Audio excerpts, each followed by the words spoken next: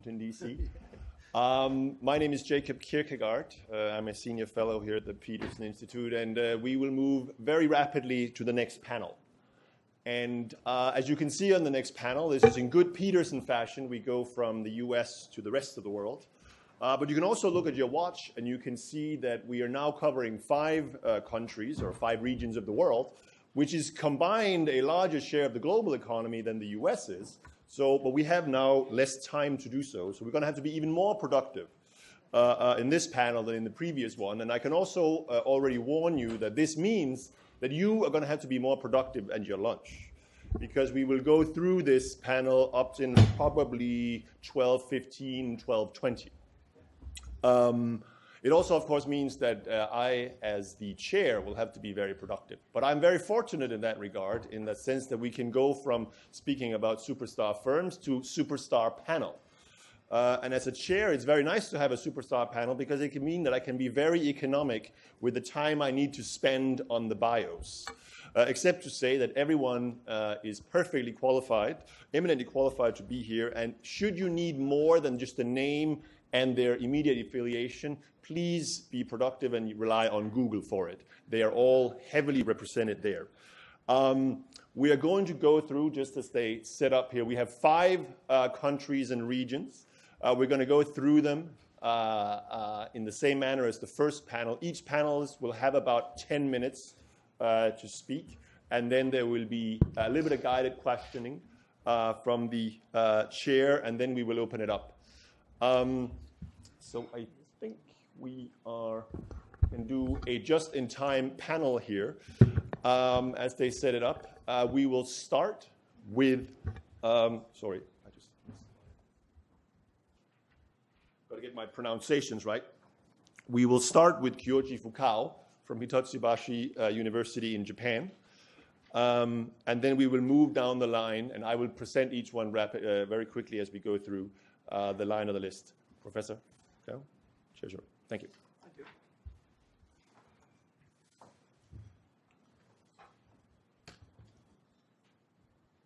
So I would like to talk about the structural causes of Japan's low TFP growth. And uh, TFP growth decline in Japan was not uh, exogenously given, but uh, there are, we can find several structural causes about that. And motivation. So although Japan had largely solved the problem of banks' non-performing loans and firms' damaged balance sheets by the early 2000s, the productivity growth didn't recover after that. And uh, this presentation examines the underlying reasons of, of Japan's low TFP growth from a long-term and structural perspectives using uh, industry level and farm level data. So this figure shows TFP level of Japan's manufacturing sector and uh, non-manufacturing market sector.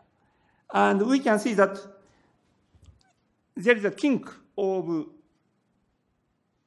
TFP growth, both in manufacturing sector and non-manufacturing sector. Non-manufacturing sector TFP growth is showed by red orange line. And you can see, anyway, it was very low. But uh, before 1990, we had some progress in productivity growth. But after 1990, it almost stopped.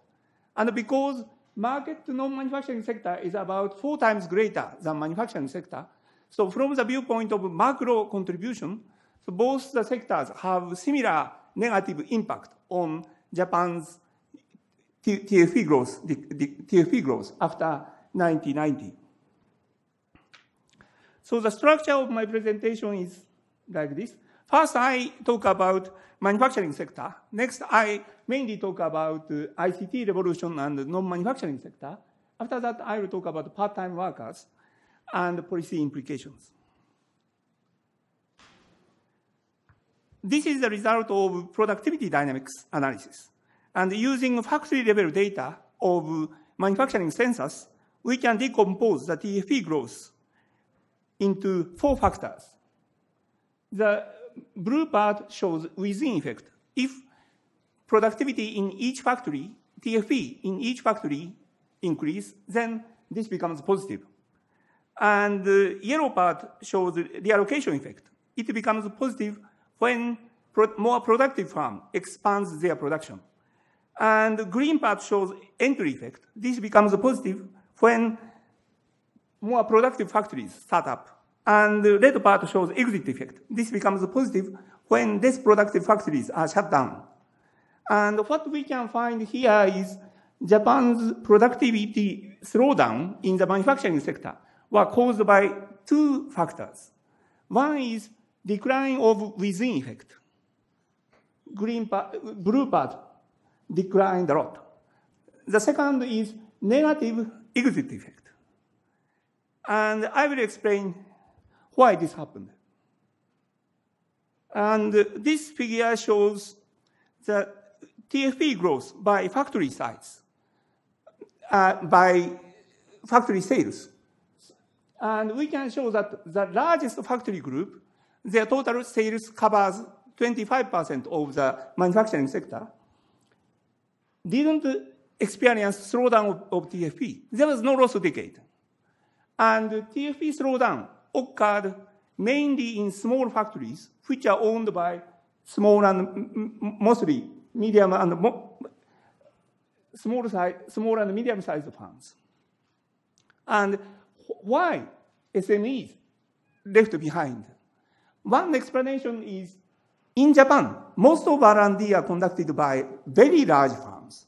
In the case of US, R&D sales ratio is highest, I think, medium-sized firms. But in the case of Japan, small and medium-sized firms didn't, doesn't do R&D. And uh, also they are left behind in internationalization. Probably that made the, their within effect become smaller. And also the Japan was famous for tight supplier uh, customer relationship in manufacturing sector.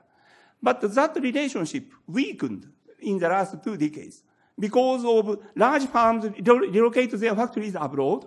And also, like Nissan, they cut many former suppliers. So spillover from large firms to small firms declined. That's our hypothesis. I skip this. So this figure shows the horizontal axis shows gross output increase by Japanese MNEs, multinational enterprises in Asia. And the vertical axis shows exit effect. And we can see industries where firms relocated, multinationals relocated their factory abroad, tend to have large, large negative exit effect.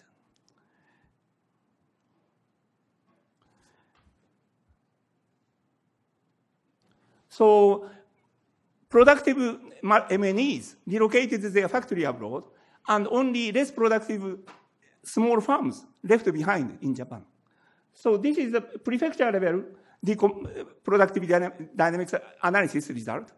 And we can see that uh, some industry districts like Tokyo, Kanagawa, and Aichi, we observe large negative exit effect.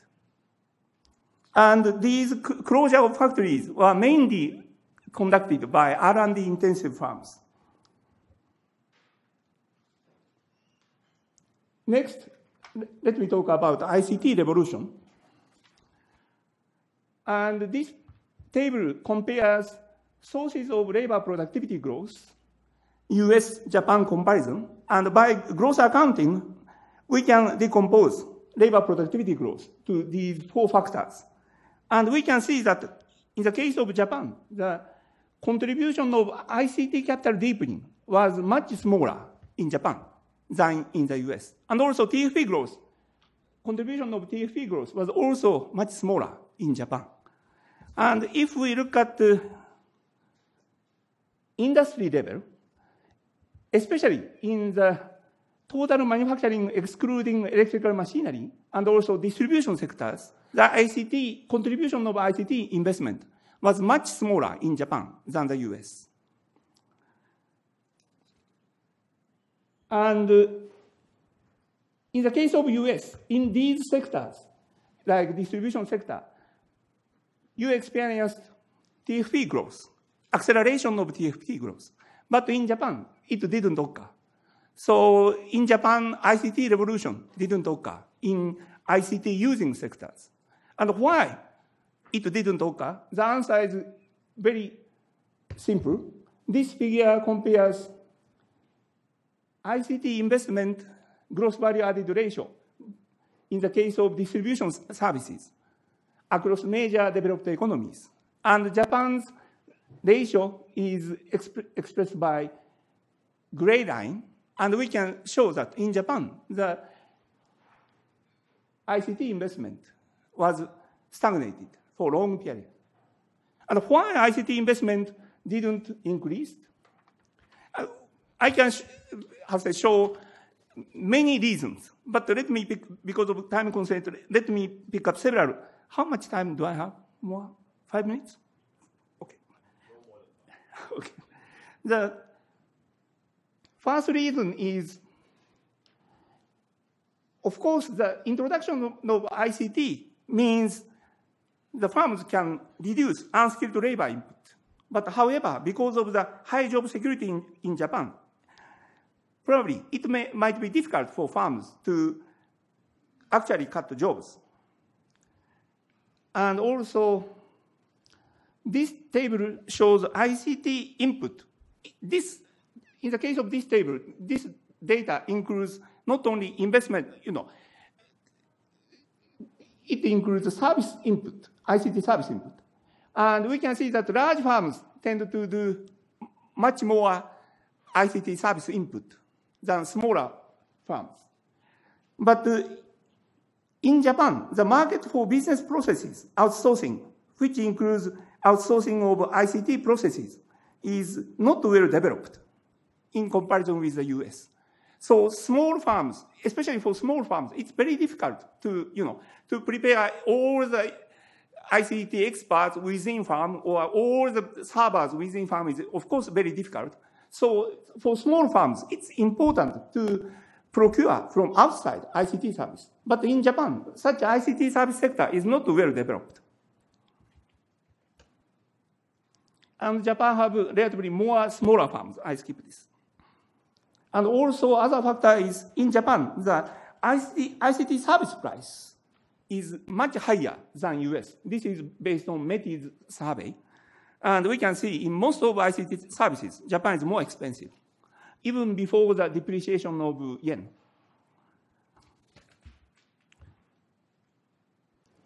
And the last uh, issue I would like to raise is increase of part-time workers. And this figure shows percentage of part-time workers by sector. And we can see in Japan, in many sectors, part-time workers increased a lot. And uh, in the case of part-time workers, firms doesn't do training. Also, on-the-job training is much less in the case of part-timers. So human capital accumulation slowed down in the case of, you know, because of increase of part-time workers. And this figure shows labor force participation rate by age and status in employment in the case of male worker in 2013. And we can see that young, in the case of young male workers, more and more workers are becoming part-time workers. And also, most of elder workers are part-time workers. And this is female workers. Majority of female workers are working as part-time workers. So because of this human capital accumulation, I think, slow down. And why firms increase part-time workers? That is because, because of Japan's decline, labor for increase of working age population declined and economic growth declined. So, and because Japan's labor regulation is very tight. So to keep the flexibility of the, their employment, firms need to increase part-time workers.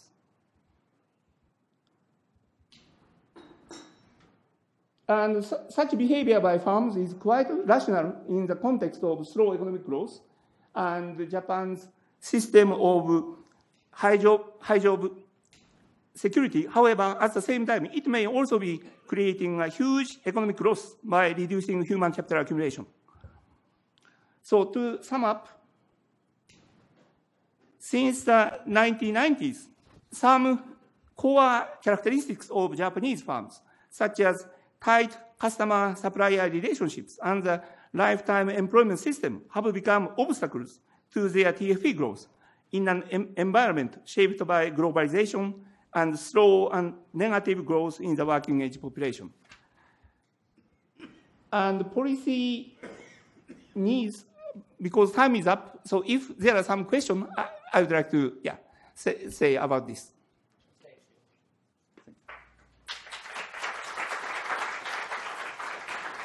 Well, thank you very much, Mr. Fukao, Professor Fukao. Next speaker is uh, President of DIW in Berlin, Marcel Fratzscher, to talk about Germany.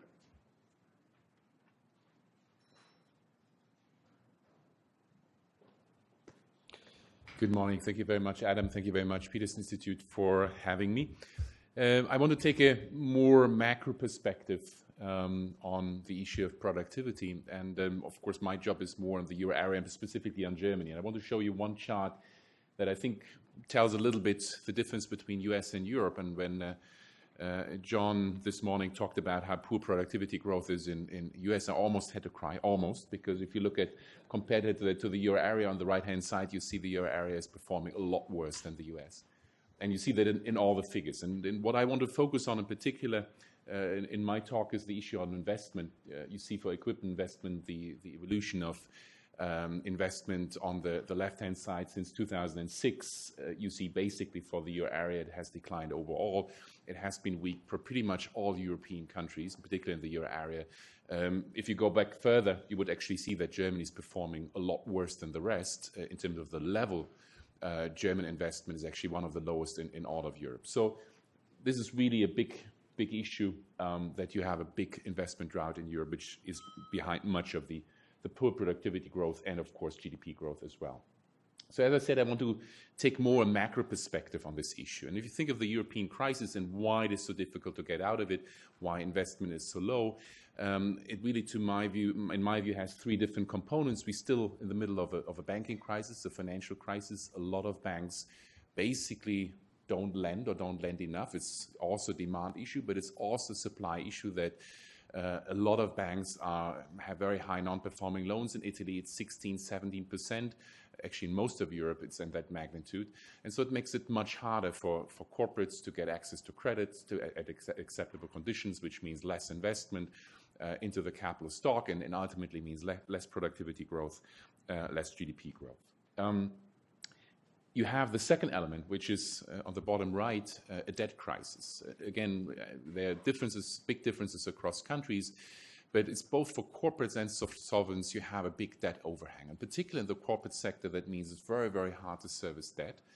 Um, in addition to that, you have a deflationary tendency, which means real interest rates are, are positive, are much higher than they ought to be, uh, to really provide a stimulus to the, to the real side of the economy. Uh, and therefore, the big debt overhang you have, in particular in Southern Europe, makes it very hard to actually allow companies to, to invest and, and to, to, to generate growth, generate productivity. And then you have uh, what I would call the economic crisis, so very, very low demand, um, both from households and, as I mentioned, also from corporates, but also in particular from households. And to me, uh, one impressive chart is always uh, the one on the left here that shows the evolution of GDP growth or GDP overall um, in different euro area countries since uh, the first quarter of 2008, which is normalized to 100. Uh, and you basically see that the euro area over, overall, I don't know whether the colors come out, but the euro area overall is still, in terms of the size of the economic size, is smaller than it was in early 2008. And you see this big heterogeneity. You see Italy, uh, Italian economy is almost 10% smaller. Um, Spain is growing now again, but still about 6 to 7% smaller. Um, I want to say a few words about Germany. Germany looks pretty good, at least if you look at the chart. But uh, if you look carefully at the um, at the scale, so we're talking about GDP growth accumulated since early 2008 of 4%, 5%. Um, so that's not really a very impressive growth rate for Germany. Of course, it looks good relative to the other euro area countries, but overall, it looks rather disappointing. Uh, one chart, which when I show it in Germany, gets a lot of people upset, um, and um, bursts some illusions, is this chart. So if you go back further to 1999, this is again real GDP, you see actually Germany has been doing fairly poorly if you take that longer perspective, simply because Germany had dreadful Uh, decade in the 2000s, where it basically hardly grew. Germany was a sick man of Europe. So what we see in Germany now, I would describe really as a partial catching up with the rest of the euro area, no more, no less. Um, the same if you look at productivity. This is pre-crisis. Uh, productivity growth in different euro area countries relative to the euro area average in the composition. Uh, so productivity and compensation, um, to give you the unit labor cost. And you see Germany on the very right-hand side did relatively well, gained a lot in competitiveness, but it was really because of wages, wage developments, which were much lower. So productivity growth was was no more than average in the euro area. Um, so my job was also to look at Germany. Overall, it looks very good, but if you take that longer-term perspective, it really has a lot to do with wages. Um, it has little to do with gain productivity, uh, and overall GDP growth in Germany has been Uh, rather disappointing. Um, I mentioned the non-performing loans. I want to skip that, but I want to come uh, to this issue of investment, which to me is really the crucial issue of getting out of that crisis trap. So how can we generate enough investment so that companies basically improve productivity, start hiring workers, generate income, which then, you know, will not only generate growth, but also help Uh, uh, financial corporations to to lower debt or lower risk, uh, for for governments to have higher tax revenues, lower debts, become more able to set a fiscal stimulus. And if you think of that crisis triangle, I think what the big mistake we did in Europe was that, or we should have learned from the experience of the United States, which in 2009, 2010, did this three policies: bank uh, uh, consolidation, closed down a lot of banks, or recapitalized them, had a massive fiscal stimulus, uh, and at the same time had a massive monetary stimulus. And we didn't have that in Europe. We had a massive monetary stimulus, maybe a little bit too late, um, but we are really lacking these two other elements, in particular on the banking side, where we still have huge problems. So so much to the macro side. I want to come down to um, investment in particular. And what we try to do at DIW, we try to estimate what would be uh, an investment rate we should have in different euro area, overall, um, um, industrialized countries, in order to have um, potential GDP growth of what we had seen the past 30 years. So what we did is we estimated uh, an investment model uh, in a panel for OECD countries over the last 30 years and tried to derive from that, you know, given the determinants of investment, the size of industrial sector, the structure of the industrial sector, uh, R&D intensity, and so on and so on, what should investment today be? And that's kind of what we call the investment gap. And if you focus on the right-hand side column, uh, a positive figure means too little investment, and this measures as a share of GDP. So for Germany, the first row, that means Germany actually lacks uh, 3.7% of um, investment relative to GDP, compared to what Uh, its structure would actually tell uh, tell Germany it should have in order to uh, have potential growth as it had over the past 30 years. Um, and 3.7%, you know, when I present that number in Germany, people usually get very excited and say, "This is a humongous number, much too big." But then if you look at the current account position of European countries, in particular Germany, you see Germany has a current account surplus of more than 8%. That's kind of the net saving, which basically German corporates and German private households lend abroad to foreign companies, households, and sovereigns. Um, so it's just saying if you lose less than half, 40% of that big surplus and invested in Germany, you actually you could uh, close that investment gap relatively easily. You see, for most European countries, you have this uh, positive investment gap. Uh, in some cases, it's quite big. We have it also for the U.S., which is also there, um, 1.9%. You see also before the crisis, 1999 to 2007, we actually see a number of countries having negative figures, means excessive investment. So you have it on on both sides. Um, now, we have tried to break that down by sector. Uh, dark green is for the euro area, uh, the gray is for the EU27, and you see this pretty much applies to every sector, with a few exception: construction, trade, where we probably had seen too much investment in most euro area countries before the crisis. But in almost all the other sectors, you have this massive investment gap, in particular, um, sectors linked closely to the, to the um, public side, education, healthcare, uh, public sector more generally.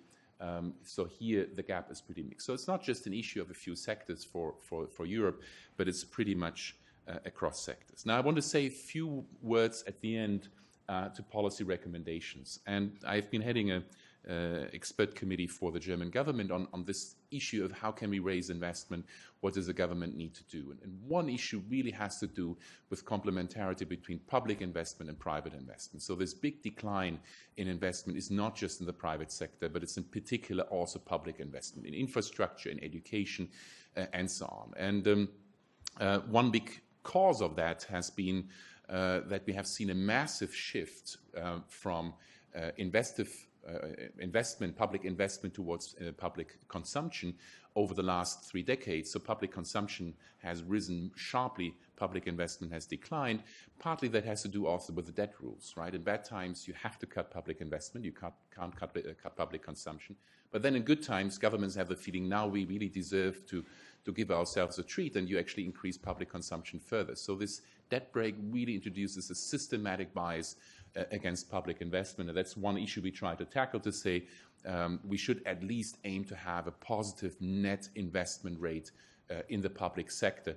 And in Germany, we've had actually negative net investment uh, pretty much uh, throughout the country over the last 10 years.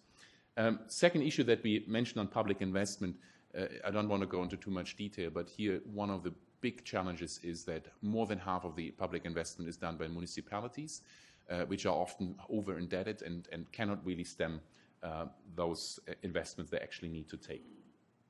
I want to come to private investment. And uh, here, the, the puzzling thing in Germany is that German companies actually do invest, but they do invest abroad. Um, and in particular, bigger companies actually have been increasing, the DAX 50 companies have been increasing uh, employees abroad outside Germany by 50% over the last 10 years, but have cut uh, employment in Germany by more than 10%. So we see this massive relocation of investment outside Germany. Um, and clearly, one of the issues uh, is that you know companies tell us the environment for private investment in Germany is just very, very poor. And if you look at what the issues are that companies actually are complaining about, you get really a whole set of, of issues. What I mentioned on public investment, poor, uh, um, poor um, transport infrastructure, um, poor digital infrastructure, um, many of them are complaining about um, lacking skilled workers. They can't get access to the, to the right um, um, uh, mix of employees, so they rather not invest. A lot of complaints about regulation, over-regulation uh, in the financial sector, but also in terms of permits is a big issue. family policy. So there are a huge number of, of issues that basically explain it's the policy side takes an important responsibility for uh, low private investment. Um, we looked at energy. Energy is a big issue for Germany. Germany has an energy transformation, switching off nuclear power, shifting into renewables, which will cost it probably, our estimates are 30 to 35 billion, so about 1 to 1.2% of GDP every year in terms of additional needed investment in grids, in technology uh, in order to make that energy transformation work. So, so big challenge, digital infrastructure I mentioned. Germany has one of the poorest uh, digital infrastructures in all of Europe. And that for many, many companies is really a big factor uh, to explain why uh, they invest little or why they actually go abroad. Um, I skipped the last issue. I'll just say a few words on it. I now focused more on Germany and individual countries, but of course, a lot of those issues have a European dimension. We have a big Juncker initiative in Europe uh, that uh, is supposed to generate 320 billion uh, in mostly private investment uh, over the next couple of years. Um, I'm a little doubtful whether that will work, but, but clearly, um, as I said, it has an important European dimension and a lot, a lot of important spillovers uh, for, for Europe um, to, to take into account. Thank you very much.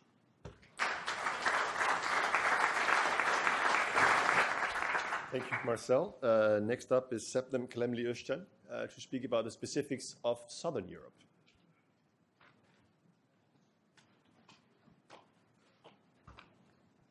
Can I just can I just use this?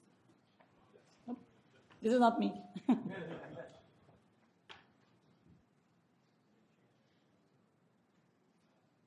Okay, let me start by saying actually I agree with everything uh, Marcel said. In fact, I have a paper on explaining the investment collapse in Europe, joined with Luc Laeven, the director of uh, research at ECB. And we do find actually the role of debt overhang, both on the corporate side and the sovereign side, uh, has a big role. So uh, I fully agree with all that, but I'm going to actually follow uh, Peter's, uh, Peter Orszag's footsteps in this presentation and going to uh, take the focus to the firm level and also what happened before the crisis. So pretty much like during the Euro's introduction, starting in 99 until 2008, 2009, the European crisis. So I will be talking uh, about the period that uh, you know before um, uh, before the period that Marcel focused. And let me also say that this a lot of the things I'm going to say today is uh, going to be coming from the joint work with Gita Gopinath, Loukas Karabarbounis, and Carolina Villegas Sanchez. So the motivation for this uh, work is uh, pretty much this observation in Europe that after the introduction of euro in 1999, productivity levels, and not just labor productivity, but total factor productivity levels diverge in Northern Europe and Southern Europe.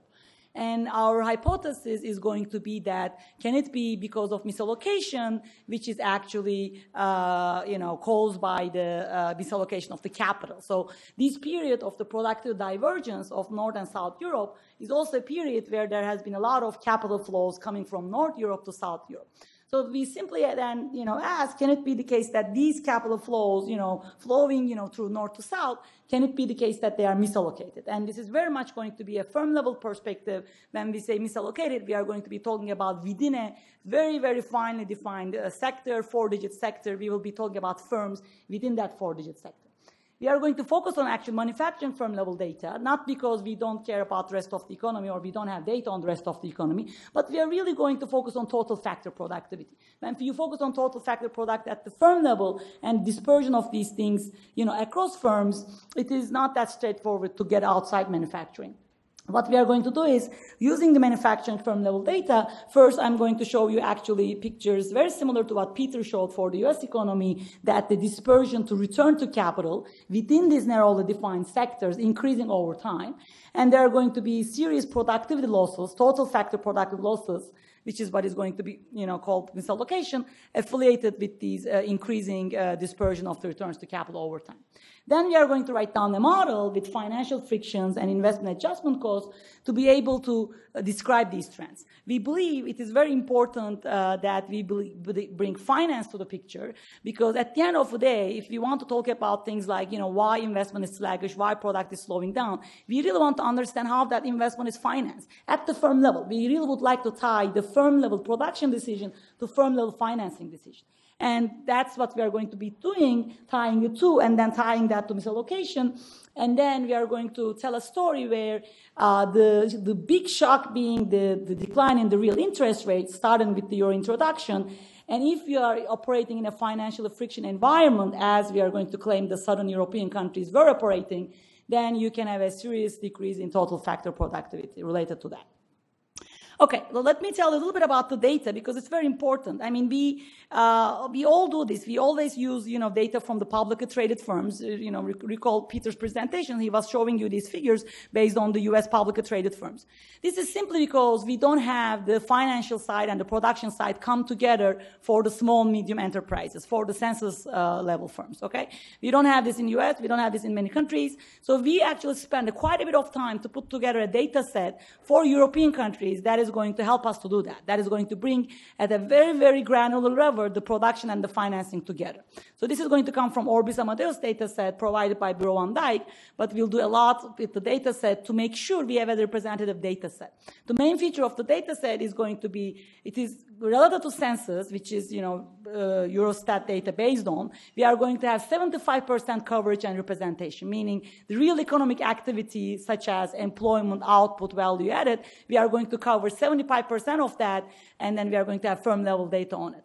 So this is a big advantage, of course, over census, obviously, where if it's census, you have 100% of the activity, but you don't have anything on the financing side of the story, where we are going to have that. And then the advantage to the, to the big, big firm data sets, like, you know, public traded firm data set, we are going to have pretty much all the small, medium enterprises. So our data sets start with one plus employee. Average employment in this data is going to be something around 30, as opposed to 150 in your typically used public traded data sets. So just to show you like how representative our data set is, the second panel shows you the official data, Eurostat. SBS means structural business statistics. This is just one example. Spain in 2006. We have this for other countries in the paper, which is available on Peterson's uh, website. So the, the point here is that actually there are two points. First, Europe is very different than the US. In US, listed firms are going to be accounting for half of the output. Europe is very different. Europe, actually, these firms are going to be around 30% of the output. The action is really what we call SME, small, medium enterprises. They will be accounting 70% of the output. As you see, firms with more than 20 employees going up accounts for the bulk of the output, almost 80%. And the top panel is our data that is matching that. So in our data, you can see that like, you know, 1 to 19 employees account for, those firms with 1 to 19 employees account for 19% of the wage bill, the same figure with output or employment as in the, in the official data. Okay, so let me tell you very, very uh, quickly the framework we are going to use. So we are going to use Hsieh Klenow uh, framework, and uh, Chang is here. So uh, if there are detailed questions on this, we can ask him after the presentation. But it's, it's actually very simply what we are going to, uh, you know, borrow, borrow from their framework is the marginal return uh, to labor and capital are not going to be equated across firms within a sector, which is the exact same notion that Peter Orszag was referring to during his presentation.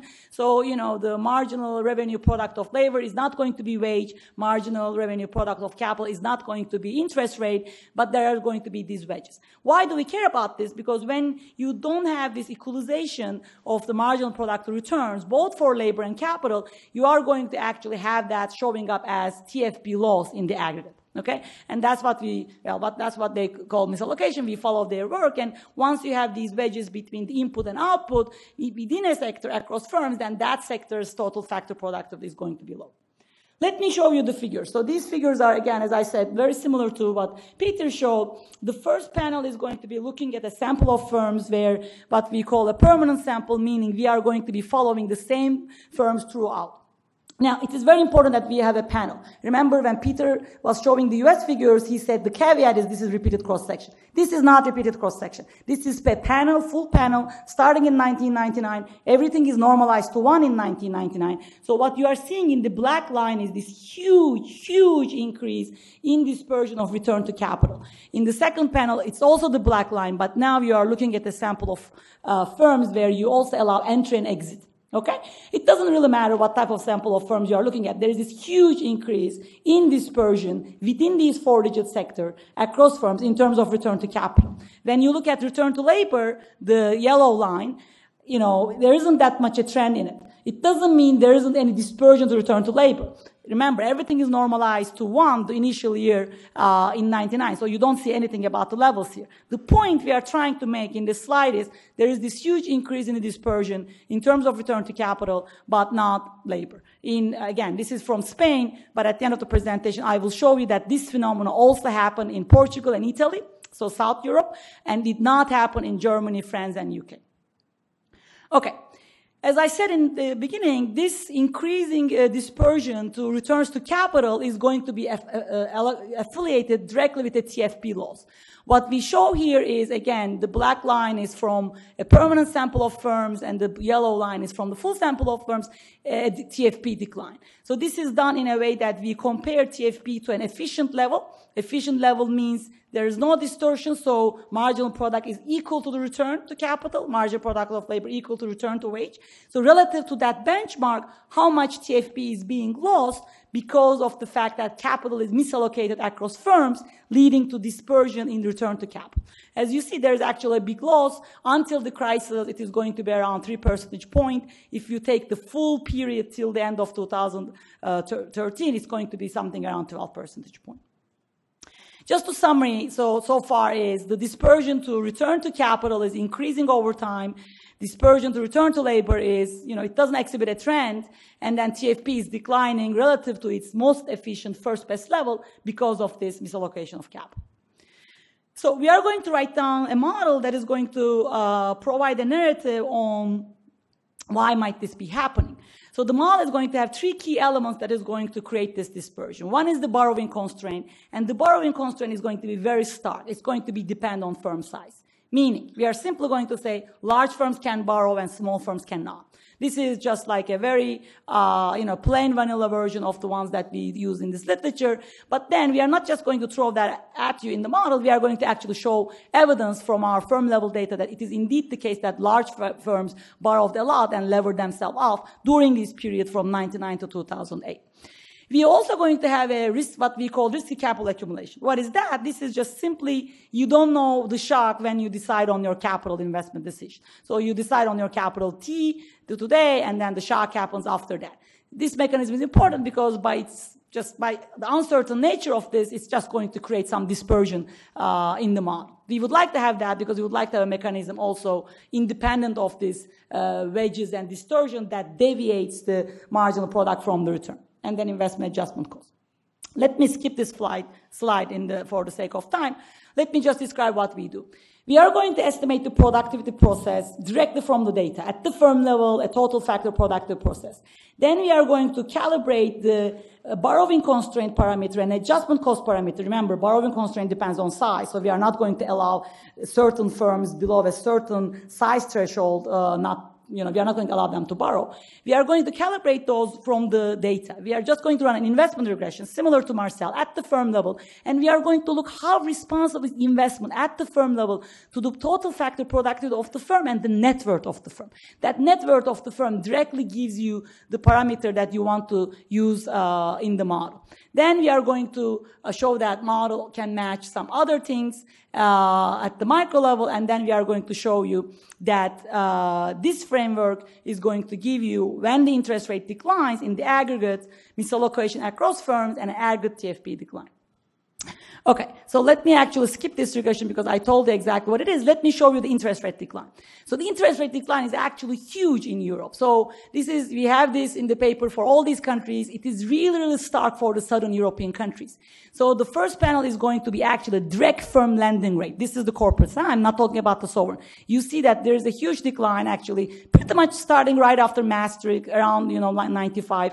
This is around a six percentage point decline. The other one is the sovereign, the typical one that we always look at, like we always ask ourselves, how come Greek government can borrow as cheap as German government? But both of them, both the firms and the sovereigns, there, there's going to be a huge decline in the borrowing rate, real interest rate, uh, starting around that period. So we are going to feed into model the six percentage point interest rate decline. That's the first little figure. That's going to give you immediately huge capital accumulation, huge debt accumulation, the second little window of the capital, the third little window of the debt, below, the fraction of constraint will increase. Why? This is the interest rate decline. So the, your optimal response as a firm is increasing investment and decreasing saving. And then when you increase investment, you want to borrow. But of course, not everybody can borrow. So you are going to start hitting your constraint. That's going to give you the dispersion, the middle little window in the second row, standard deviation of the return to capital. There is huge increase. And then the last little window is the TFP decline. So the model generates all these patterns as we show in the data. Okay. And finally, we also show that actually capital did indeed allocate it to high net worth firms. Conditional on the initial productivity in 1999, the firms that increased the capital most, investment most from 1999 to 2007 are the one with the high net worth firms. So this is the rest of the Europe. So the top three is going to be Spain, Italy, and uh, Portugal. Again, the red black line is going to be dispersion within a sector to, in, in terms of the returns to capital. You see the huge increase in that. And the yellow one is, the flat one is dispersion to returns to labor. The bottom row is France, Germany, and Norway. And you see that there's not that much a difference in terms of the, again, time series pattern of uh, the dispersion of return to capital and return to labor. They are both like flattish. This, of course, going to be associated with the TFP laws in Spain, Italy, and uh, Portugal, and not that much in France, uh, Germany, and Norway. So to conclude, the key takeaways uh, from my presentation is that since the introduction of euro, productivity growth between northern and southern Europe diverged. In fact, this goes actually before. We extended the data now going back to 95. It is really starting somewhere between 92 and 95. So we actually put forth the explanation that misallocation of capital, you know, due to a financial friction environment, when you have low interest rate in a financial friction environment, can be the explanation. we actually show that the correlation between firm TFP and the capital is decreasing over time. And this is important because this is going to tell you that, you know, capital is increasingly more and more so allocated to lower productivity firms. So firms are going to be facing idiosyncratic shocks in our environment, and they're going to be borrowing constraint that is going to prevent smaller firms from taking out loans then within this environment, it is very easy to see it. A lower interest rate, a huge decline in the interest rate is going to be associated with capital inflows, especially going from north to south, but it's also going to be associated with the fact that capital is not going to be allocated with the most productive firm, but the firm with the most biggest, highest net worth that can, you know, borrow uh, that loan. And this is going to cause a misallocation, you know, in that sector, and that's going to be, you know, uh, seen as the lower aggregate TFP of that sector. Thank you very much.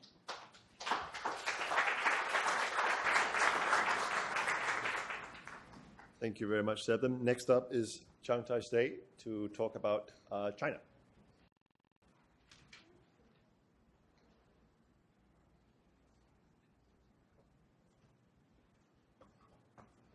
Okay, great, thanks. So I was tasked with uh, giving a story about what, about the growth slowdown in, in China. So what, what I, I, guess what I'm going to do is that I'm going to try to walk you through uh, two stories uh, uh about China. So I, I and, and, and, I guess the, what I'm going to do is to first tell you the story for what I think has been behind the growth in China for about the, for roughly the 20 year time period until about 2008, 2009. Um, and then once I, I, think you you have an understanding of what was behind the the eight nine percent growth that, that we saw in China, then we can begin to think about well, what was it about the foundations of that growth that might have changed after 2009 that might be behind the slowdown that we've seen in the last six or uh, uh six or seven years. So let, let me start with, with, with thinking about the, the, the 20 year time period until about 2009. And the way that I want to start to talk about this, I'll, I'll talk about this as, as the puzzle of China. And the puzzle is, is, is this. If you think about sort of just, just the very basics of what it takes for a, for a thriving private sector to grow, it seems that all of these, these things are absent in China. It seems that every so, and I'll just you think about rule. You think about the rule of law, strong and in, strong and independent judiciary. You know, when you watch the trials, the public trials in China, it's it's hard to believe that there is a strong and independent judiciary. So you think about all the basics. You know, how are contracts respected? You know, all the just the the, the uh, just the the the, the. So the first thing I'll, I'll, just, I'll just show you a little bit of evidence that, that sort of the basic fundamentals of what we think uh, are, are really important to have a thriving private sector are absent in, in China. So the first thing that, that, you know, so one quick thing that you, you can do is just to go on the web and look at how China does in terms of these indicators that the World Bank has put together, the, the, the World Bank uh, the doing uh, business indicators.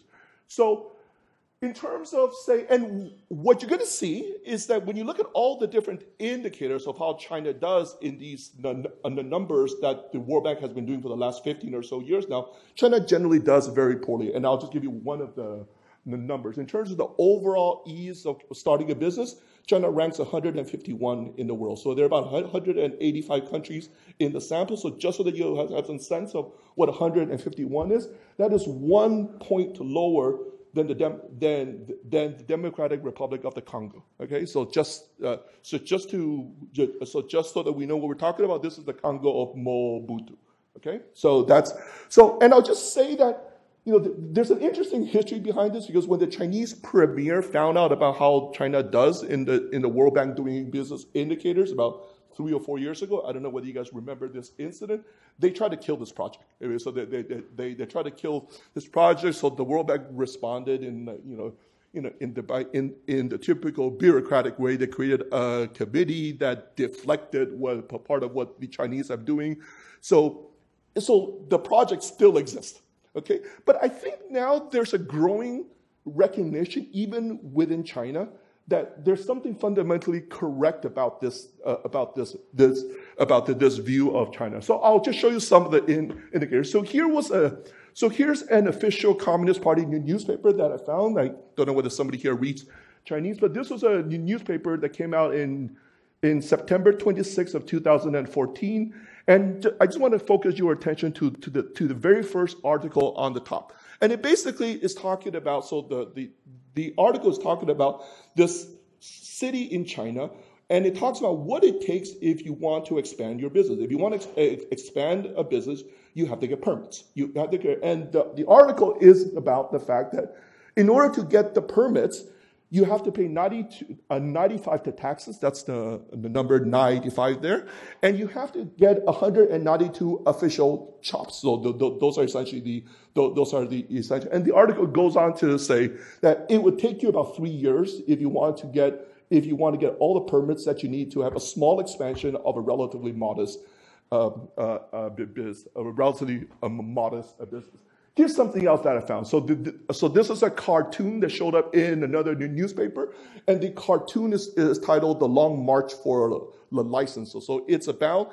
So here it's about the permits that you need, you know, not to expand a business, but to build in, in, in order to build. And it's a cartoon about basically that, about all of the steps and all the, and, and all the procedures that, that one has to go, that one has to go through if you want to have a small construction uh, project. So w- what I wanted to say is, is that, you know, so the first thing that I, I, I, I want, want to drive home is that there's something fundamentally correct about this view of China. That if you want to think about, you know, the nature of these formal business institutions, it is incredibly weak. Okay? Which brings us to the puzzle of, you know, how is it possible that you can have 10, 9, 10% growth over 20 years with such weak institutions? So what I want you to focus then is to think about, well, there are these formal institutions that I, that I hope I've convinced you are, are, are, are largely dysfunctional. But what I want to, you to start to think about is that they, by and large, there has been a substitute for these informal institutions that I want you to think about what is the nature of the informal institutions that, that, that allow, that has made it possible for a large number of firms to grow. So I want to give you a picture of what these informal institutions are, are like. So I want to tell you a story about, so about two years ago, I, with some collaborators of mine, went to the small city in southern China so it's a you know small by Chinese standards, a small city of about two million uh, of about two, two about two, two million people. And the reason we went there was because my collaborator had a former student who was a vice mayor in charge of the education department. Okay, so this was a, so his so his so his office was responsible for managing the schools, the, the, the, the, public schools. So we went there because he offered to provide us with introductions because we wanted to have an understanding of what local governments in China, in China, in, in, um, uh, in China do. So when we got there, we went to his office, we met up with his chief of staff, and the chief of staff apologized and said that, you know, you know that it, it, it, it looks like it's that, that it's going to be difficult for the vice mayor to meet with you because there's some important investors in town. So again, this is the vice mayor in charge of education. So, and then we started to talk with the chief of staff, and the chief of staff handed us the sheet when, you know, when we started to talk about what, you know, that, what is it that his office does.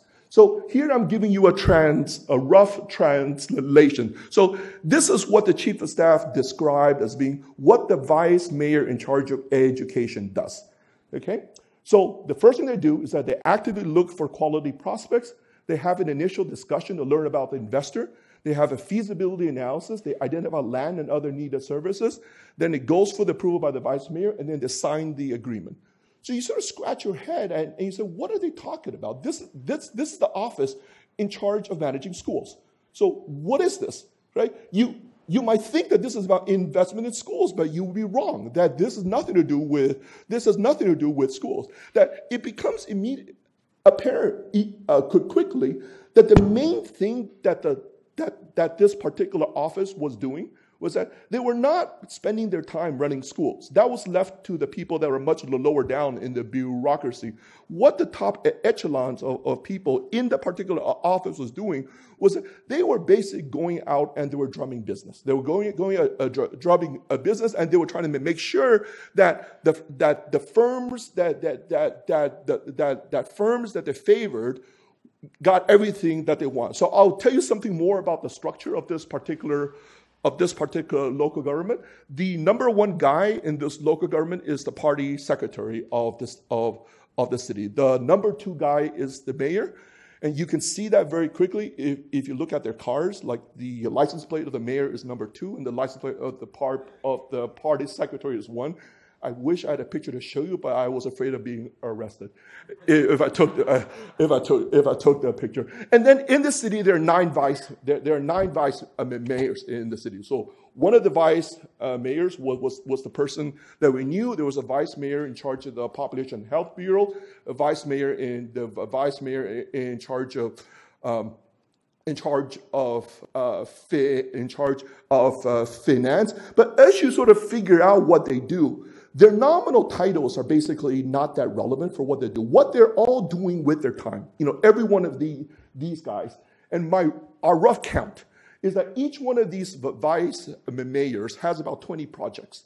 Okay, so these are either projects that they drum up, or they're projects that are handed down to them by either the mayor or the party secretary. And, and their job is to make sure that, that these 20 firms, they got everything that they want, so everything that, that, that they need, they get. And all these rules that I just mentioned to you, what they do with their time is that they make sure that these rules don't apply to these firms. Okay, so basically they, they, they're, they're spending all their time basically, you know, getting exemptions to these rules for these 20 firms. So if you think about the scale of this, it's, you know, 20 times nine, uh, 20 times 9, and we didn't get to talk with the mayor or the party secretary, but there's also going to be a small group of firms that are directly handled by the party boss and by, by the, the, the vice mayor. So, so, so I want you to think that, and, and this is not just in the city, but you see this in every single city in, in China. So I'll just give you one more case. I'll just give you one,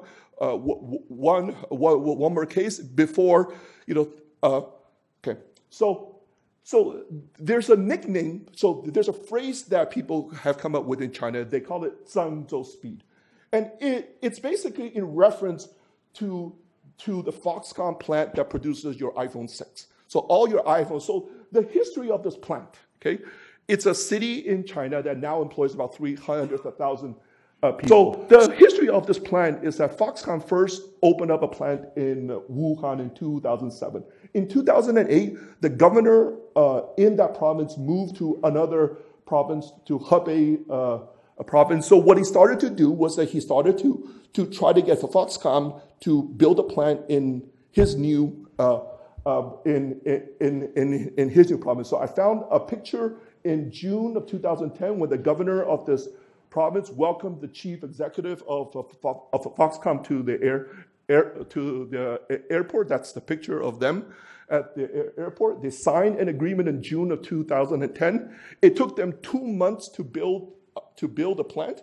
And by the end of August of 2010, they opened up the plant, and within two years, they were ramped up to three to 300,000 workers. So all of your iPhone 6s are made here, are, are, are made in, in, in, in this plant. So, what is the story, sort of uh, the, the, the, the, story about China from until about 2008 and 2009? So, the first point that I want to make is that the way that you want to understand this system is that it is capitalism that works for the private sector, but it's, it's a system that I think we understand well. So, I'm, I'm just going to call it crony capitalism. But, and what I mean by that is that that formal institutions are weak. That if you're going to follow the if you're going to follow the formal rules, you're dead. Okay, so if you want to follow the formal rules, it's like the Congo. Okay, but but what successful firms do is that they learn what the informal institutions are and they figure out how to use it. Okay, so this is something that I think, that I think most of us understand well. So the next thing that you wanted to think about is, well, how is the practice of this system different in China than what you see this, this practice in almost every country of the world? And I want to say that there are three things that are different. Okay? The first thing that I want to say is that I, I, the way that I would describe the way this system is that it is crony capitalism, but it is crony capitalism with free entry. And what I mean by, by, by that is that there are two important things. There's one, there's there's strong local state capacity that once a decision is made that you are my friend and I and I'm going to do whatever it takes uh, uh, uh, for your for your company to work. Generally, the local party organization has the uh, has the administrative and the organizational capacity to execute to deliver on the deal. The second thing is is that the, until about 2009 or so, it was relatively easy to make these deals. Okay, so it was a well understood mechanism, and it, and it was it was relatively e- e- easy for people to make these deals. And I don't exact I and I would say that there are two potential reasons why it was easy to make this deal. The story that, that the official story in China is that this was something that was encouraged by the personnel arm of the Chinese Communist Party. This is this body called the Organization Department. The second reason is that I'm going to say is that it was a system where I'm going to say there was a remarkable tolerance of personal benefits for the local party officials until about 2013 or, or so. And then we'll, and then we want to think about, about what was it that, that changed. The second thing that was important was that there was very limited, you know, that local governments had capacity, but they had limited access to financial resources in the following sense. Okay, just give me two more minutes. They were not allowed to accumulate debt it was, it was, it, it, they, were not allowed to accumulate debt, and they also did not have, con, they did not have control over the over financial institutions. So what that meant was that when they decided to help their friends, okay, generally it did not take the form of access to financial resources because they had no access to to financial resources. The third thing that I think was important was that it wasn't just one of these guys, but there were about 2,000 of these guys that were all doing the same thing. So if you think about, you know, you know, what's the, that, that, you know, what's one of the dangers of the system that, you know, somebody's your friend and then you do everything that you can to make, to, to help your friend's business, including blocking out everybody else that wants to come in. And you certainly do see that as well. But the, the difference in China is that you can do that in, in your city, but you have no political jurisdiction over, over all the other 2,000 uh, uh, cities in China that are trying to do the same thing. So that's where an important part of the competition comes come, uh, uh, come, uh, comes in.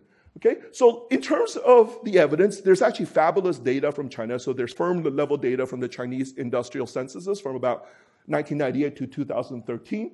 And what you see in the data from about, in, in this, let me just say this 10 year period is that what you see is rapid TFP growth among the large private firms much more limited in the small firms. And once you understand the system, you know, who are the ones that benefit from the system? It's the large guys because they're, they're the ones that the local governments are going to pay the most attention to. What you see is that high entry rates of large private firms as well. And the third thing that you see is that the return to capital of large private firms relative to the other firms well, was roughly stable. So what, what we infer from that is that private firms did not have better access to, to capital. So private firms that, that, that were the friends did not have access to, to capital. So what happened after 2009? We know that at the aggregate level, growth slowed. So what was it about the system that changed after two, two, 2009? The first thing that changed is what I'm going to call the long shadow of the Chinese fiscal uh, stimulus. So people talk about the 8 9% of, of, of, of, of the 8 9% of GDP. That was a Chinese fiscal stimulus sure lots of people in this room uh, know that Chinese fiscal stimulus did not take the form of tax cuts or explicit spending by the government. What it did, the, what, what, what Chinese fiscal stimulus was, was basically two things. Was basically that local governments were informally allowed to do two things. They were allowed to set up companies because, again, they were legally not allowed to acquire debt. Okay, so what they did is that they, they were allowed to have a workaround. They, they created these companies that are known colloquially in China as, as local financing local financing vehicles, and they and these these companies would then borrow. They would borrow, and then the, the second thing that happened was that they were informally allowed to create these non-bank financial intermediaries. These are essentially the Chinese shadow banks. Okay, so these are the two main uh, changes that happened, and then what that did is that it basically gave local governments access to money that previously they did not have. Okay, so roughly 8 to 9% of GDP began to be intermediated through these combination of these local financing, local financing vehicles and the, and the Chinese shadow banks by 2013. What do you see happen as a consequence? First thing that you see happen is that what you see is that the return to capital of large private firms start to fall after about 15 years of relative uh, of, of relative stability. Now, what you start to see is that the, these cronies start to get preferential access to capital that previously they, they didn't have. The second thing you start to see is that large firms, and you only see this among large firms that get hit with adverse shocks, they start to be kept alive, whereas before they died. They, they, they died. So think of this as being the story that people tell about Japanese uh, as a zombie lending. You, you can only have zombie lending if you have money if you have money. The, the, the, third thing that you see is that the TFP growth of large private firms start to fall. And I think this is going to be the most important part of the story because I, I do see a change in the psychology of local governments that now there's a source of easy, um, I'm just going to call it easy uh, money. Before, if you want to get rich, this was the only way. The only way in which you could do it was to was to attract the private firms. Now you don't. You can do that, but now there's something else. There's another channel that that that you have to, that you have to to to to to work with. The second thing that I think has been important is that if you think about, you know, the, the, the, thing that's the most remarkable about Chinese, the local governments, every single one of them, is that they're working 24 7 to make their businesses work. Okay, now I want you to think about well, why do they do that? You know, why don't they behave like the typical bu- the, the typical bureaucracies? And I've suggested that the easy access to personal benefits was an important part of that. Well, if you think about what else has changed since about 2013, there's been a crackdown on corruption. Okay, now my data only ends in 2013, so I can't quantify uh, what you know what the consequence of that has has been. But I would say that it's basically, you know, these two pieces, this, this, this personal benefits for, for, for local officials plus access to e- easy, uh, access to easy money. These are the two main things that have changed in, uh, and I think that these two things are what has been driving the slowdown of growth that we've seen. Thanks.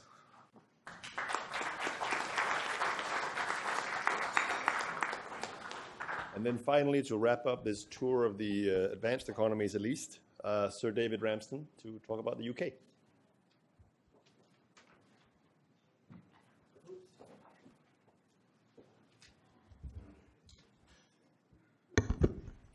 Okay, th thank you very much indeed to um, Adam and to the Peterson Institute for giving me the opportunity to present on the UK's uh, productivity position. And I should say that as the um, chief economic advisor to the UK Treasury, what you're going to get from me is the perspective of a practitioner of economics, very much uh, at the uh, policy, but also very close to the political end of the, the policy production function.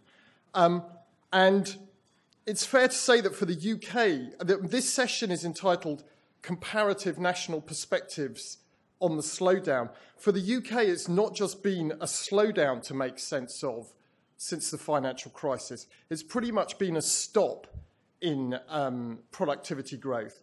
And so, in my um, time uh, this morning, I'm going to go very quickly through the UK's analysis of the drivers and then move on to our policy response and draw some tentative conclusions the slides I'm going to present, most of the charts are in uh, the UK government's productivity plan called Fixing the Foundations. It was published back in July and you can, you can get online.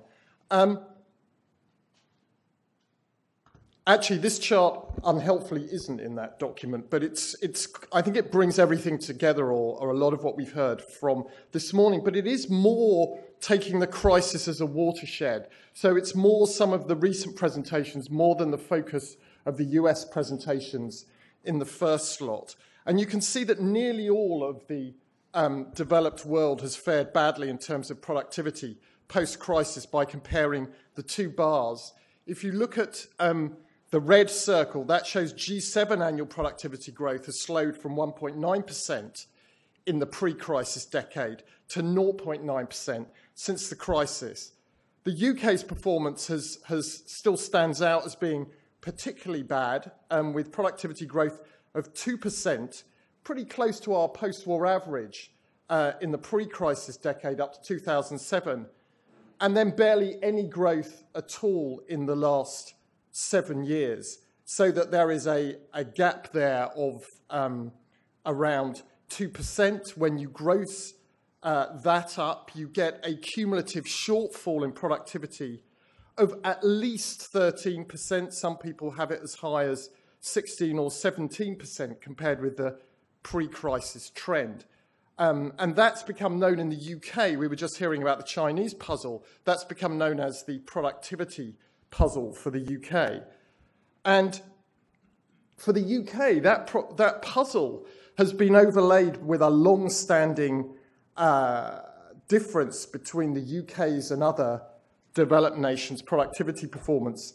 If you like, um, the productivity gap, which has been a feature of the UK for some time, has intensified. This, this chart shows the UK's uh, National uh, Statistical Institute's, ONS's latest international productivity comparison, and you can see that Germany is um, shown as the leader in the G7 with output per hour 33% higher than the UK.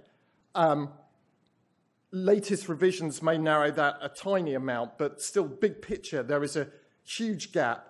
Obviously, on this kind of measure of productivity, we have to take account of other contexts, particularly the labour market, which I will touch on in a second. But just in terms of how we have analysed in the UK the puzzle, so if you like, what has happened since the crisis, the at least 30, you know, the 13 to 17% gap.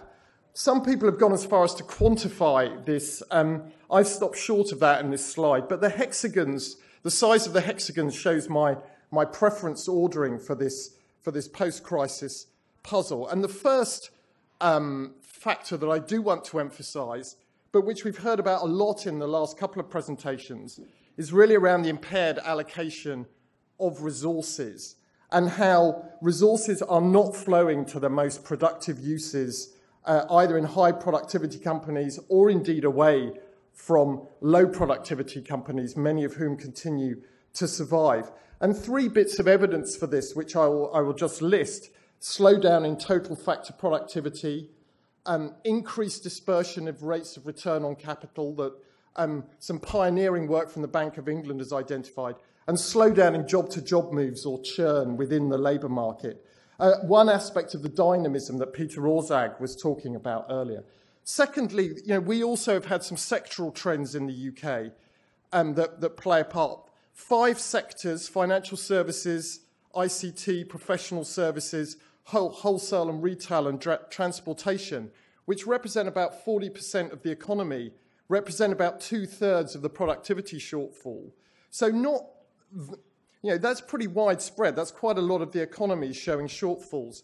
But interesting that many of those sectors have already been talked about by others. Third, third and fourth, really, um, the, if you like, the capital deepening story, the relatively low cost of labour has, may have led firms to substitute away from investment. And then early on in the post crisis period, labour market hoarding more generally. Finally, I do think data man- management issues um, for, you know, that we've again, sorry, data measurement issues that we've been talking about in this morning's sessions do play a part, and I'll just touch on that at the end.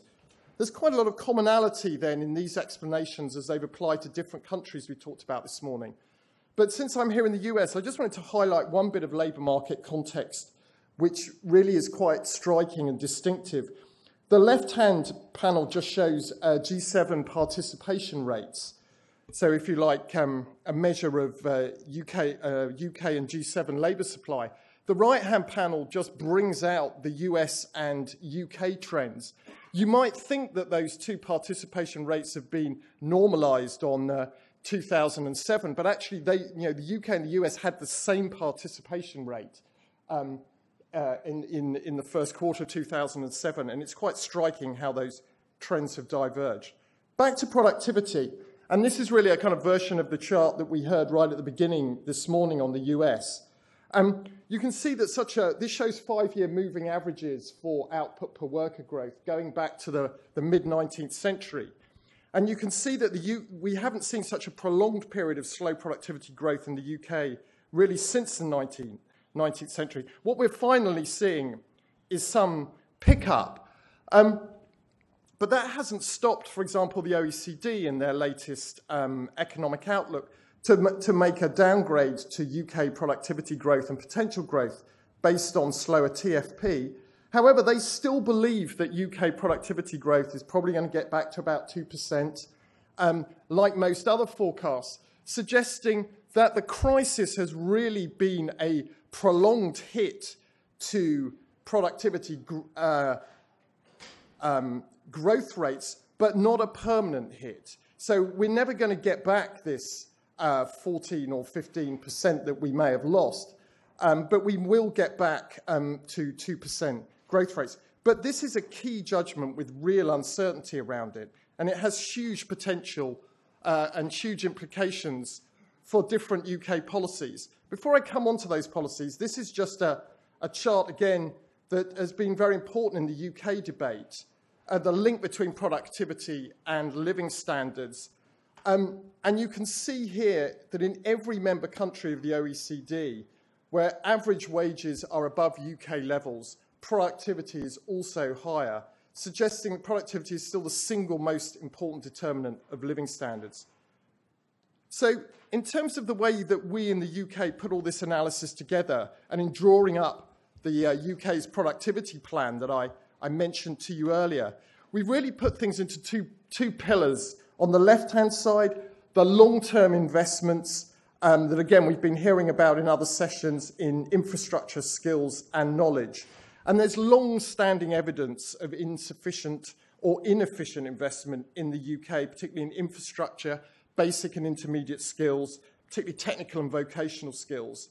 And then um, firms holding back on capital investment, um, which has, um, since the crisis, which has exacerbated a persistent UK weakness. Then on the right hand side, really back to this question of dynamism. How do you encourage an economy where resources flow to their most productive use? And uh, really thinking um, about the policies then which we are trying um, to tackle both the long-standing issues for the UK that were in the left-hand pillar and then some of the issues around dynamism that have really come to the fore since the crisis. There's a, I'm, I'm afraid there's a kind of classic policy advisors list here. So I would just want to highlight five areas from this list for you today, because these have prompted some really radical policy interventions in the UK context.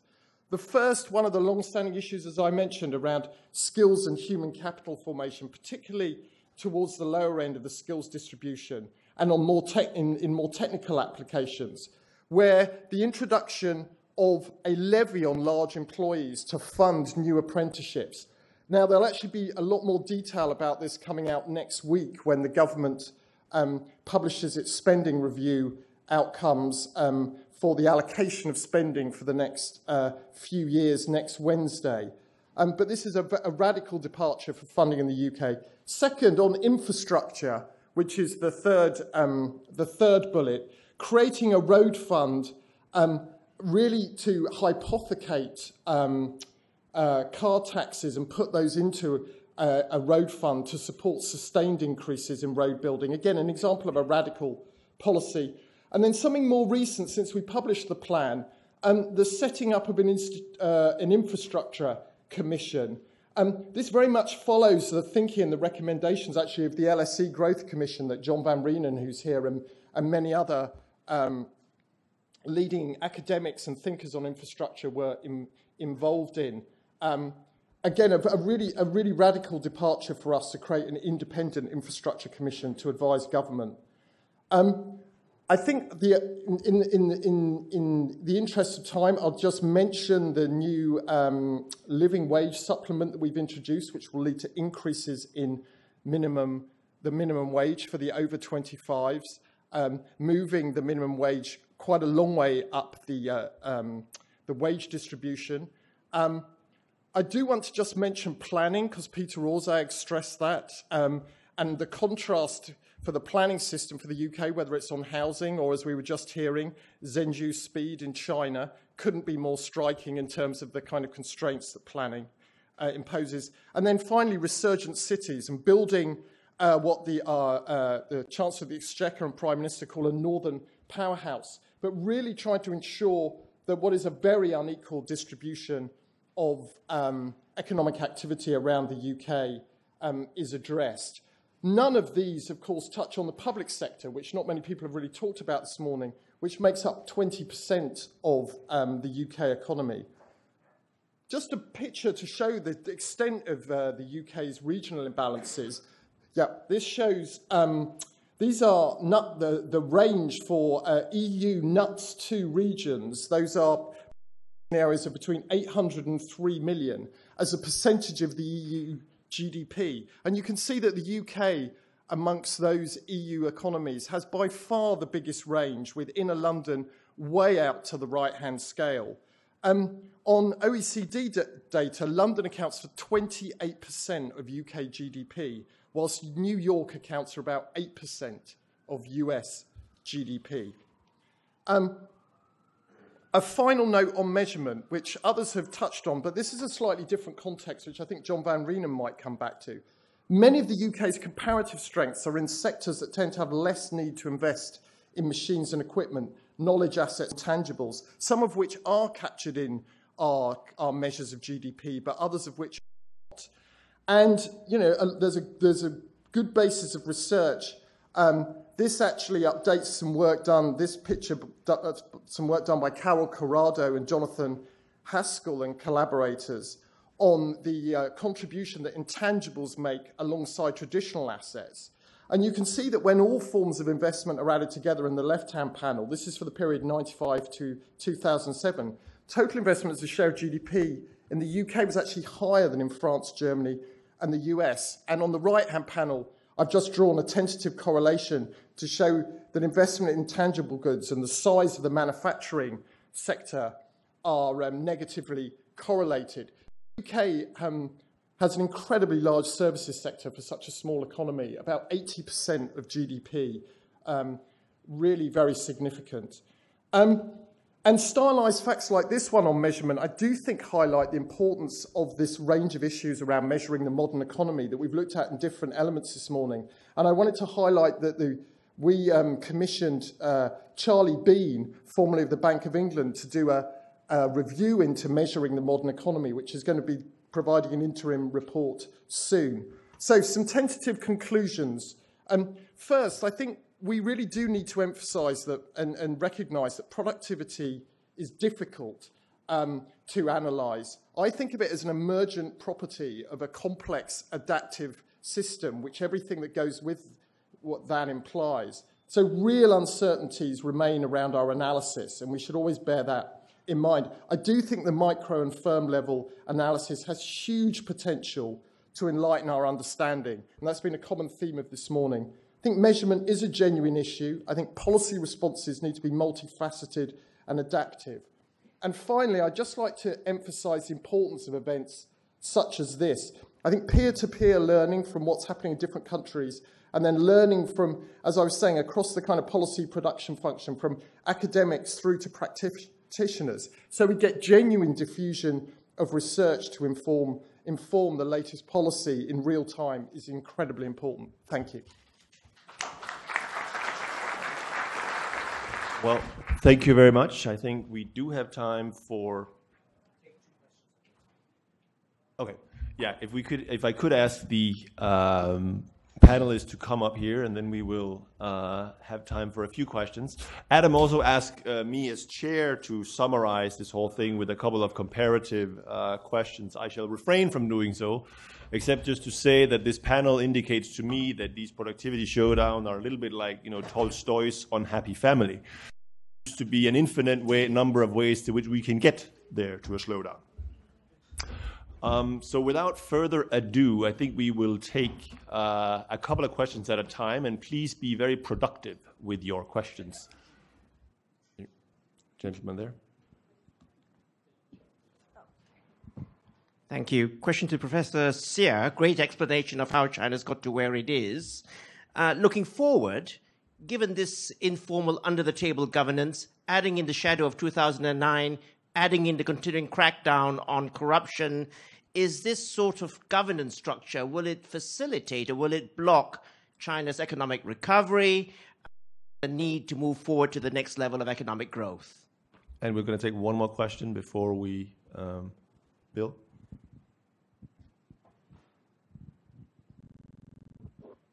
I think the uh, Bill Cline here at the Institute chart by uh, uh, Sir, Sir, Ramsden with Sir David is um, begs the question of how much of this slowdown you know, for the period 2007 2015 is simply Okun's law. You know, we know that when you have a massive recession, firms uh, husband uh, their their labor, uh, productivity uh, goes down. So if you simply average the recession period uh, doesn't doesn't that explain a lot of the observed slowdown? And it comes back to Adam's question of sorting out the long-term trend. Chang-Tai, do you want to take the first question? I think that the honest answer is that I don't know. Uh, I, I, I, don't know because when I look at the, what the system was like, you know, from about the late, the early 1990s, about 2009, I see it as something that, that really works, but but it's it's sort of like this knife edge that you that one that one gets that you need to have a couple of things that come together and it has to work just right for this thing to pick. and, and I think what we see after 2009 is that that it's really easy for these for for these just right conditions to to uh, to to uh, fall to to uh, uh to not hold. Um, so I, I don't really have any, I don't really, really have any, have anything de- uh, deeper to uh, to say. I mean, my my best. I, guess if you ask me for what my best guess is, is that it's that it, it's it's eventually like if things don't change, it's gonna go. It's going to go the way of Indonesia. Like if I think about the way that Indonesia worked until about 2000, until about 1998, it was very much a Chinese type of uh, system with with a couple of differences. Like in the case of Indonesia, there was just this it was just just this one guy, which is Suharto's family. Uh, Suharto's family. He, there, there, there's a lot more. And there was also a well-established institution uh, that if you want to make your business work, you basically go and you make these deals. Uh, you make these deals. And after 1998, the political foundations of that were were no longer there. Um, so that's my best guess, although I, I, I, I, would just revert back to my original answer, which is I don't know. Uh, uh. Sir David, on the second question. I, I don't think the labour market type explanation, they can explain, certainly for the UK, I'm, I'm really talking about now, can explain um, quite, quite a bit of the weakness uh, in the first two or three years after the, or maybe the first couple of years after the trough in GDP, but the sustained weakness of, of productivity relative to the pre-crisis trend is re- is really very significant, off the scale relative to previous cycles. So, um, I think it is one of the candidate explanations, but for, uh, our assessment is it can only explain a small part of it. But I think that that your bigger question about how much is cyclical and how much is structural still applies, if you like, when you look across the whole economy. And um, I think the most forecasters, and I can say this as someone who now no longer forecasts, that's done for us by the Office for Budget Responsibility, uh, the UK equivalent of the, of the CBO. Um, most forecasters, such as them and the Bank of England, think that productivity growth is going to get back to something, you know, this kind of reversion to something close to trend. But that won't, but we will have still lost all of, or, or quite a lot of that, um, that gap relative to the pre-crisis trend that we now have of at least 13 or 14%. So I think that's the really big you know, question of can we, you know, will we get back to that trend productivity growth, or indeed will we, you know, if the policies policies come through, other things come through, will we actually begin to make up some of that that lost ground? Because that has huge implications for fiscal and other policies. Thank you. I think we may have time for just one more question. All right, two more questions we got over there the, by the. Uh, yes, Suman Bery from Shell. I'd like to bridge between this and the previous panel, just to say that it seems as though um, the last eight, seven, uh, seven years perhaps have been a disaster for small and medium enterprises in all the advanced countries we've looked at. And yet there was this narrative way back when that, you know, it was small and medium enterprises that generated most of the jobs, etc. So um, uh, how big a deal is that? I mean, we've heard a credit explanation in Europe, we've heard a competition explanation in the United States, but the people who are getting hammered are the are the small and medium enterprises. So, is any recovery on the cards? The gentleman behind. Uh, Charles Kalshoff, I'm with uh, Shell. Uh, so, so one um, uh, question triggered by uh, by Mar Marcel Fratzscher's uh, intervention on the role of um, the current account surpluses of, of Germany that that hurt potential growth.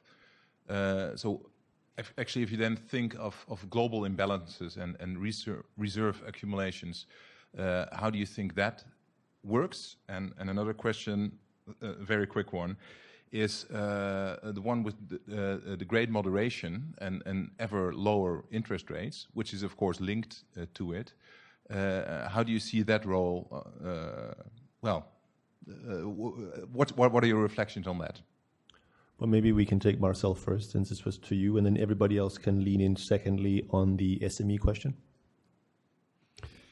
Um, on, on, the current account position, I mentioned that Germany has eight, more than 8% of the current account surplus. Of course, that contributes to global imbalances in the broader sense. Of course, we have seen China's current account basically disappear. Um, there are complaints in Europe that um, Germany is doing a beggar thy neighbor policy in the sense that reflects um, low wage growth uh, in uh, the export companies. And I think that kind of is is a wrong perception. If you look at German export companies, they have high productivity growth, high investment, uh, pay the highest wages in their sector. Um, so that's not really the story of the current account surplus. The, the main issue that I see is really a lack of investment. That's kind of really the key for understanding why Germany has that big um, uh, surplus. It's to some extent also high private saving, but it's mostly very, very low private investment. Um, and uh, so generating more investment would generate higher imports. That's that I see how the adjustment should take place, not through higher, lower exports, but really through through higher imports. Um, and um, the second part was real interest rates. Uh, the adjustment uh, clearly low interest rates and a weak euro at the moment help Germany. Uh, a lot, right? I mean, a, a, lot of you could you could ask if Germany had its own currency, uh, what would the value of that currency be, and would Germany's current account surplus still be eight percent? Uh, clearly, the euro would be a lot stronger if uh, Germany had its own currency, or uh, so the current account probably wouldn't be as big. Though my view on the role of exchange rate adjustment for the current account is um, it's probably much less important than we think because uh, Germany is part of a big production chain. You have a huge import content of German exports. Um, so, yes, it plays a role, but I, I, wouldn't think this is the main driver. Issues on the SMEs, Sebnem? Can I say something quickly? So I, I, might just say that I've never understood the argument about SMEs, and, and I'll say why. So the typical argument that's made is, is that SMEs account for the vast majority of job growth. I mean, that's the big argument. What is also true that is that SME accounts for the for the vast majority of job destruction as uh, as well. That I mean, that statement is also that, that's also. So I, I I guess I don't think that's a useful way to think about the the to to think about the sources of the, the, the sources of growth. I mean, and also the, the, I mean, the thing that I, I, I took away from, from say, the McKinsey presentation what, what, what, was that you can have productivity growth, and some productivity growth shows up in terms of job creation, and some prod and some productivity growth does does not. The, the, the, the, it doesn't, and, and then it's useful to think about why and about you know you know so you could think about say the case of productivity growth in the automobile industry. Uh, it, it it took productivity growth. I mean, my interpretation is that it it it manifested itself in terms of lots of churning and, uh, and lots of churning. But there are other uh, industry where there's been lots of pro, there lots of productivity growth where there's much less churning. And you know, I didn't, so I, I didn't quite see why, but my, but, uh, for, from the presentation, but my best guess is that it's basically about that, you know, sometimes productivity growth takes the form of creative destruction in which, you know, you come up with some, you come up with something better and you kill off a bunch of guys or you and then sometimes it doesn't. Sometimes these are just brand new products and there's, there, these are brand new products and there's nobody left, there's, uh, nobody else is doing it, so there's nobody to, there's nobody to, de, there, there's so there was nobody to destroy. So I, I, think that you I think that you would just have to be careful in associating you know job data with with with with with with, uh, with productivity. Um, Okay, but let me uh, come back uh, on that point and also answering your question. So I think it's very important that we really uh, understand the country heterogeneity. So I agree with Chang that job creation and job destruction is very important, and this is a healthy process. This is part of a healthy process, and we do see. Sorry. Okay. All right. Let me uh, let me start again uh, answering your question and also getting back to Chang's point.